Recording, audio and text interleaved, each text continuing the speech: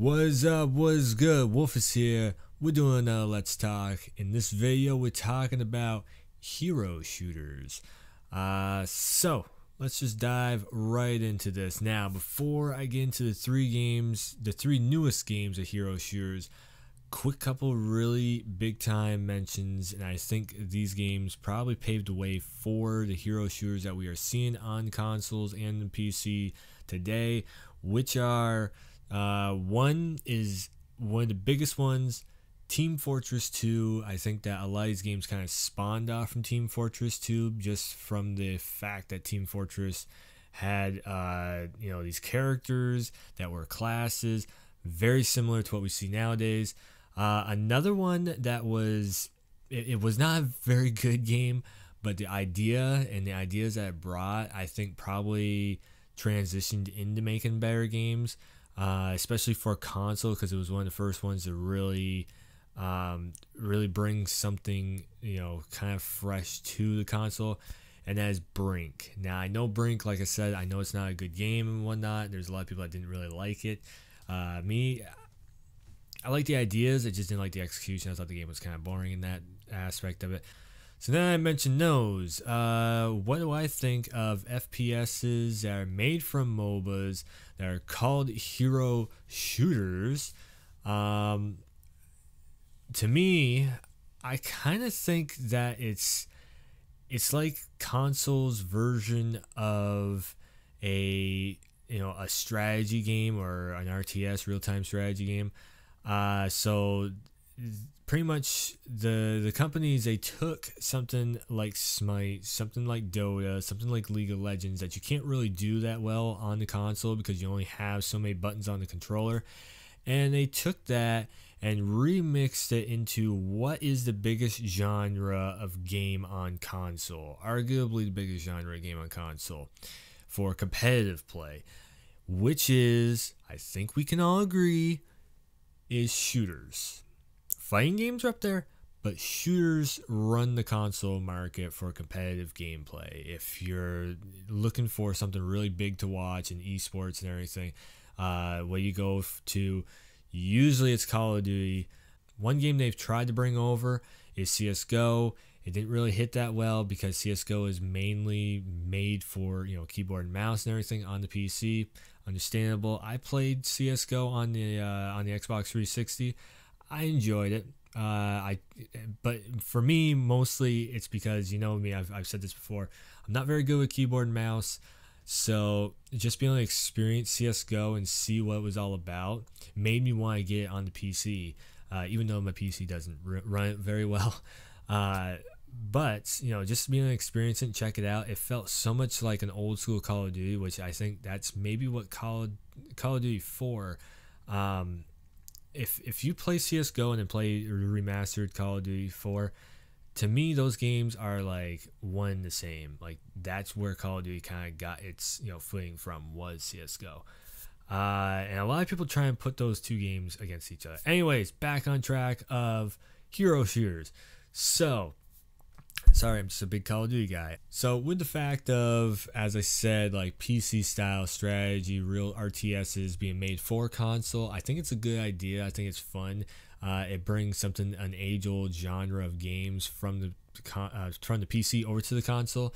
Uh, does it work with the with the console fan base? I mean, RTSs, something like Smite that was brought over, a Paragon over on the PS4 that was brought over.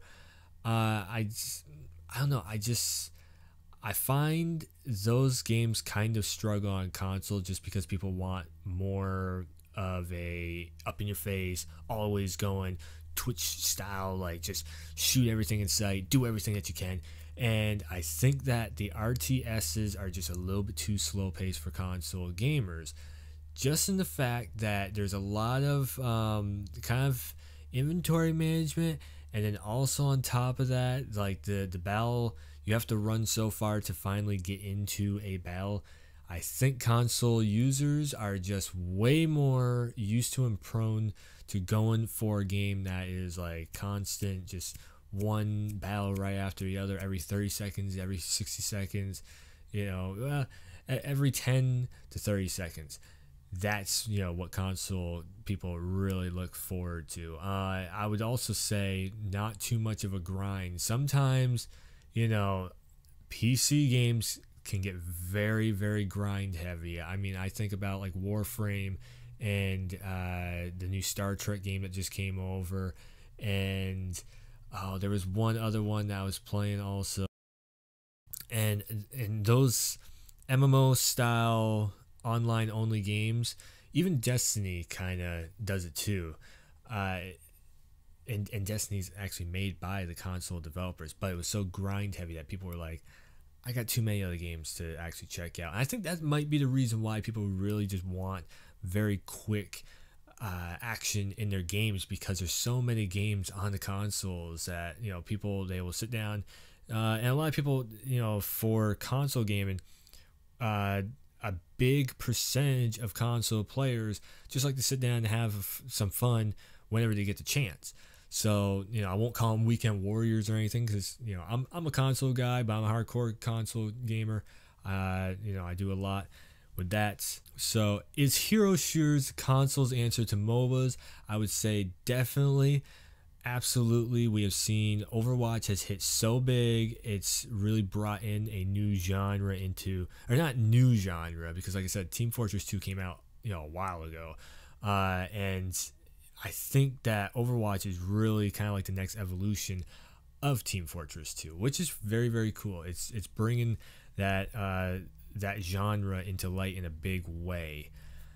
Now, couple other games uh, that you know they get packaged in with the hero shooter genre, of course, because all three of them are hero shooters.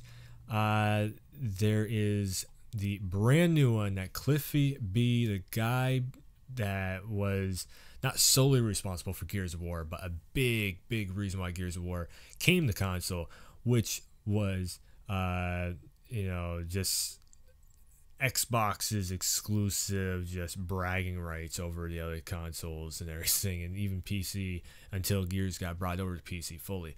Uh, but Lawbreakers, made by Cliffy B and his team, his new team, new development team. Uh, I haven't played it yet. It looks good. Uh, there is a lot of air fighting in it. It seems like gravity anomalies are all over the place where gravity just all of a sudden just, you know, it's like this loss of gravity and everything's floating and, and whatnot. Uh, there was a lot of swinging, kind of like Spider-Man style swinging, where you, you know you hit the grapple hook, you swing around the building and everything. I kind of like the look of that more than the Titanfall style grapple system, where you just shoot it and then you you know you fly over. Uh, it it looked like a lot of fun. Like you could swing off from the wall and do do do do do do you know shoot people and everything. Looked crazy, looked awesome. Uh, and from what I've seen video wise and review wise, it actually worked really well too. There was a lot of people that actually died from just trying out the swinging mechanics and checking out the map and everything because the map looked so good, uh, which was really cool. Uh, Lawbreakers is a FPS, so if now now that's kind of interesting to me because Cliffy has been working on uh, third-person shooters, as you know, with Gears of War for so many years, and he goes into FPSs, and he didn't want to. I I heard Cliffy say himself he did not want to make something that was the normal, just everyday run-of-the-mill first-person shooter. He wanted to make something brand new and different, which is you know Cliffy B's way of doing things make it a little bit different, but still keep it, you know, in the same uh, atmosphere as other games, uh, and and keep it basic, but also add extra layers to it that make it really fun. That's the reason why I like Cliff. You know, he's uh, he can be very outspoken at times, can be kind of funny, can make fun of some of the stuff that you like, but you gotta give the man credit. He knows how to go in and really do his thing when it comes to uh, game design and all that. Uh, so different characters for different classes. Uh, so you have main set characters for different class types, a lot like an Overwatch or a lot like a Team Fortress. Uh, I, I find that to be pretty cool. Uh, maybe I think that might be though where it's a good idea. I think that's where Overwatch is kind of going to have one up over Lawbreakers. I mean, there seems to be a lot of characters in Lawbreakers on both the the law, which is the police side of things, and then the breakers, which is like the outlaws, the the the troublemakers of the game. Because it's you know that's why it's called Law Breakers because it's you know cops versus robbers. Age old idea, but in a brand new you know coat of paint over it. Should be fun. Should be cool. And that's the other thing too. That's what makes the character list double in size is because you have different characters playing the roles on each side. I'm not quite sure if you can have more than one type of character on a team at the same time like Overwatch, which I did really like that in Overwatch also. I don't know. I'm just I'm a fan of Overwatch. I I do uh, I have actually been playing a lot of it on the console lately. Uh, there's a lot of people have been really getting into Overwatch, just picking their favorite characters and going. Um, so far, also a very big thing to note is, and, and this is kind of weird to me because Cliff, I know he invited uh, Microsoft down to check out the game. For some reason, it's a PC exclusive. And the way Microsoft has been running everything, when you buy a certain, you know, um, a Windows Studio game, I think it is, or something like that, uh, like Killer Instinct and Quantum Break and other titles, when you buy it on the Xbox, you get free copy on the PC and vice versa. So then it, as Phil Spencer has been saying, he wants to bring both of the platforms together as much as possible. Possibly also bring PSN together with, you know, so it's like all gamers are underneath one roof, you know, working together to make some pretty cool magical moments happen. To me, I find that to be absolutely awesome. I love that I, that way of thinking, those ideas that have been brought to the table. But who knows? You know, it's up to Sony play ball there. Um, so next one I want to go into Battleborn. Battleborn, I played the beta of it. It didn't really catch my attention too much. Uh, I do know that there's a lot of characters, and I probably didn't. I probably only played with maybe like five different characters, and I just kind of got bored of the gameplay itself a lot of cool ideas. Uh, it's made by Gearbox, the team behind Borderlands. Uh, if you've played Borderlands and really like it, their crazy sense of humor mixed with the kind of comic booky style of uh, graphics and everything. Uh, that's a lot of what you get in Battleborn. I noticed the uh, when when I was watching some trailers, I noticed that the the cutscenes are actually anime style, which is pretty cool, or like cartoon style did I just I just broke a, a third wall right there saying cartoon over anime. oh, so, you know, hurt me. I don't know. Whatever. Uh, so everything in the game seems pretty cool. It's just the execution of the ideas and bringing those ideas to life and uh, making them competitive. I don't know. It just seemed like the the characters didn't really to me they didn't really flow that well. And getting a kill i don't think i got one kill in the beta just because it felt like it was impossible to get a kill. Kind of like smite. Like me i think i have both paragon and smite playthrough yeah i have both playthroughs of those on the channel. And you'll see when i try to get a kill nothing happened. It was like you're hurting him you're hurting him you're hurting you're dead. You hurt him you hurt him you're dead. I don't know uh, it was kind of weird. Uh, just playing through it, and I, I guess that's what really turned me off from Battleborn overall was just the the execution of I can't do nothing. And once I got into that feeling of I can't do nothing, it was over. I was done. I was just looking for the next thing to do. The last game to get into is Overwatch. Everybody's really loving Overwatch. It has dropped a bomb on the console industry. Uh, is just really lit up like a like a firework in the sky. I don't know. I'm t- I, that sounds corny as hell.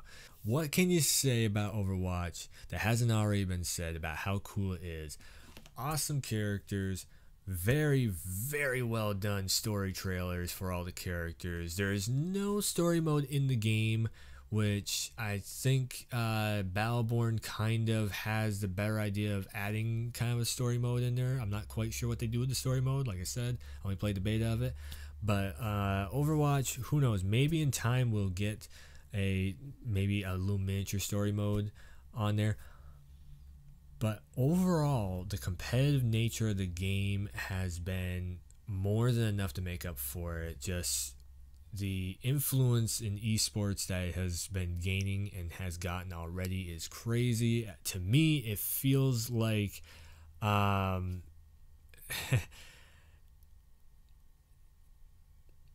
it feels like Overwatch is actually picking up where kind of Call of Duty is leaving off. It hurts to say because I'm a big Call of Duty guy myself. I really do, you know, I've, I've had a lot of years of really loving the Call of Duty scene, loving all the uh, the people that play in the Call of Duty scene, all all the teams and everything. Uh, you know, I don't know them personally or anything. I just got love for what they've done for the console, uh, shooter genre, and also you know how esports is made uh, just games like Call of Duty, like Overwatch, uh, like CS:GO in into the mainstream. Uh, so yeah, Overwatch. I mean, like I said, characters, the stories behind the characters. There's a lot of thought put into it. And a fun fact that I've heard from other streamers that I've been watching, Overwatch started as kind of like a MOBA. It started as it was going to be like another Smite or, or you know something on those lines, and then it turned into another type of genre game, maybe a fighting game. I'm, I'm not quite sure what it was. Uh, or maybe it was just a platformy story game or something. And then it ended up landing in the shooter genre, which, hey, kudos to those guys. You know, Blizzard going from World of Warcraft to first person shooters and they have you know just gone tenfold into it, really putting some uh, some good work, good thought process, and good execution. And that's when you know the game is really good because you you have the ideas there, and then when the execution is good, it just brings a whole, you know, the it controls really well. It plays very slow on the consoles, I know, but it plays very, very nice and fast paced on the PC. Uh, I tried to play on my PC, I couldn't. But everybody that I watch that plays it, they all play it on the PC. so now, now one thing I've been noticing is the hero shooters now are starting to suffer the fate of comparison syndrome. Now, comparison syndrome is like comparing Call of Duty to Battlefield, even though Call of Duty is an arena shooter and Battlefield's uh, like a simulation shooter, totally different genres of shooters. Uh, but the more appropriate one that I've always found is Call of Duty versus CS:GO. Uh, I don't like to say versus Call of Duty compared to CS:GO because those two games really feel like they're they're more arena style military shooters.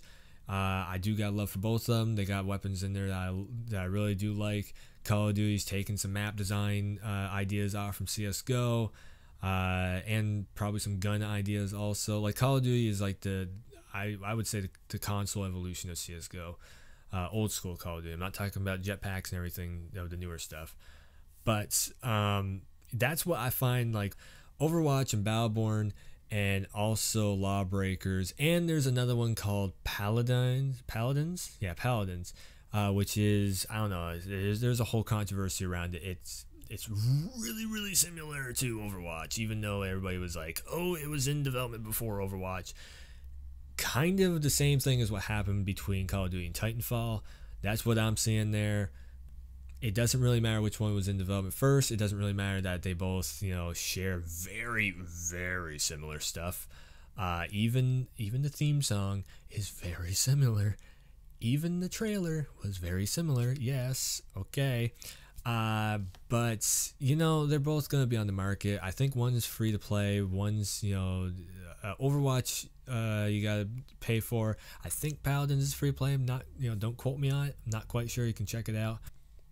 That's one thing that I think kind of hurts games in the long run.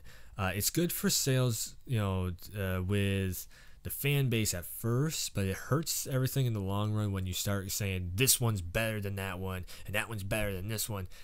Uh, if you look at things overall and see what games do and that games always they have always music even does it movies do it every form of entertainment, you know, borrows ideas from one another. And I know I've also been one to say on my videos of like, well, that's a copy of that and everything. And I've really tried to, you know, watch myself for saying that, make myself better also, uh, because I do know that it's going to happen and it's going to happen a lot.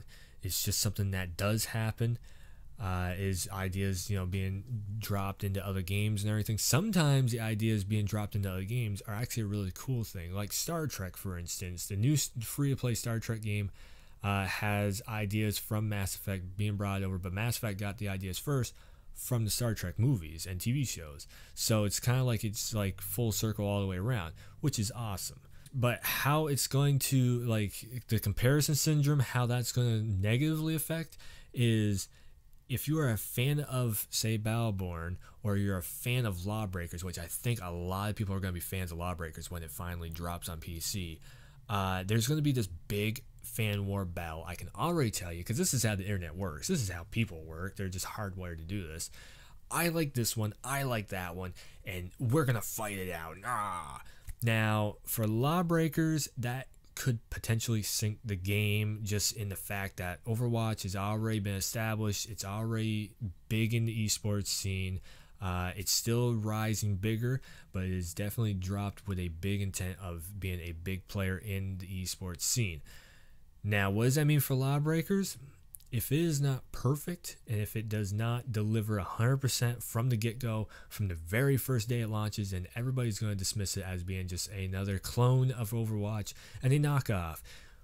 Not fair. Not fair, guys. You got to look at what the game brings to the table. Is there any swinging action in Overwatch? Well, what happens if Overwatch brings another character in that can swing? Then you're going to be saying that Overwatch took it from Lawbreakers. Again, ideas get borrowed back and forth. Come on now. As I've already hit on a couple times now in the video, why is Overwatch so damn popular?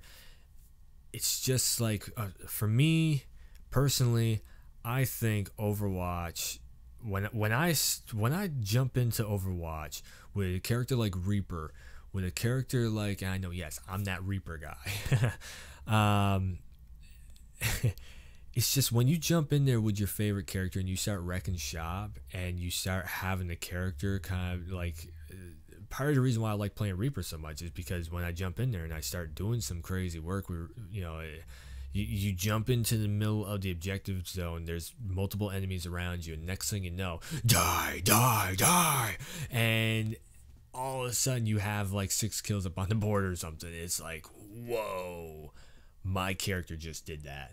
I just did that with my character. Me and my character are badass. So, or if you're a healer, you know, maybe sometimes there's there's people that really like to play a healer role. Good ups to you. You know, you help. You know, guys like me that like to run to the objective zone like crazy, man. You you help us survive all the time. You help us, you know, get the objectives and everything. Without, I I've definitely learned my lesson and noticed that on Overwatch more than other games, if you don't have somebody healing, at least one, maybe two people healing on a six man team. It's, it's six, right? Five, six. I don't know. I just I I get thrown into a lobby and play play the game, but if you don't have at least one or two healers, it's going to make the game significantly harder. Which means the team play. And you know me, I'm a lone wolf. I don't like to play with teams all that much at all. So going into it, you know, and if you have the the character with the healer role to them and everything. And then you are actually looking over people and you actually feel like you you did something even with a healer character a character that doesn't really do damage but helps out the team you know giving them health bonuses and upgrades and and, and bringing them back from the dead or whatever. Uh, and also even the defensive guys like uh, I, I think it's Tribion. I don't I don't play a lot of defensive. I played a lot of assault guys. I'm sorry if I get these you know the names mixed up or the characters wrong. Ah, don't hurt me. Uh, yeah, you know you know going in there with the shield up and then you whack people with this. Oh man, oh, oh, it's fun, man. It's it's just the ideas came together with the execution. Uh, it's simple it's this it's a familiar first person style game, but with awesome stuff to look at and and it keeps you on your toes, especially when you have that clock counting down and you're just about ready to go into overtime and then you're in the overtime and your team just steps up to the plate and helps you you know do your thing. Awesome feeling. And to me that kind of goes back to the old familiar kind of call of duty feeling uh, or csgo feeling when you got the bomb planted and you know you're looking around and if you die that's it you're done it's it's just that adrenaline rush, and that's where the execution comes in so perfect with Overwatch. Is that the the adrenaline rush is so big time there. All right, so we're gonna wrap up this video. I've been talking for a while. You know that's what I like to do is talk about you know the things I really like, and uh, and also give over overviews so yeah, talk about things that I really like, and also give you guys a little bit of a thought process on uh, on what I think about games that maybe I don't like as much, but how uh, or, or little parts of games I don't like as much that I you know the parts I do like and everything. So we're gonna end this video out with this right here. If you like the video, you can hit that thumbs up. You can share it around. Uh, I will have comments on once again for this video, just like I did with the last Let's Talk. Uh, so if you guys want to drop a comment, uh, if a couple of you guys and girls in or that watch the channel want to talk about what I just talked about in the video a little bit, go ahead and leave a comment or two. And as always, of course, if you're subscribed to the channel, it's going to make sure that you stay tuned for all new videos coming soon.